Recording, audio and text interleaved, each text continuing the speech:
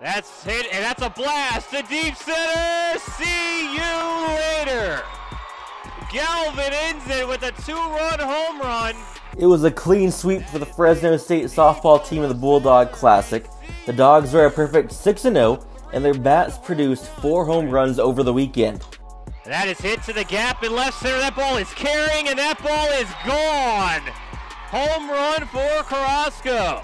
Fresno State has now won eight straight games, and their record improved to 14 6. Your next chance to watch Fresno State is March 20th at 5:30 against Cal State Northridge. The Dogs open conference play two days later with a three-game series against San Jose State. You can get your tickets at GoBulldogs.com. For Fresno State Athletics, I'm Andrew Lovedown. Two balls and a strike. That is hit high in the air and deep. That ball is carrying, and that ball is gone. A two-run home run for Skylar Broussard.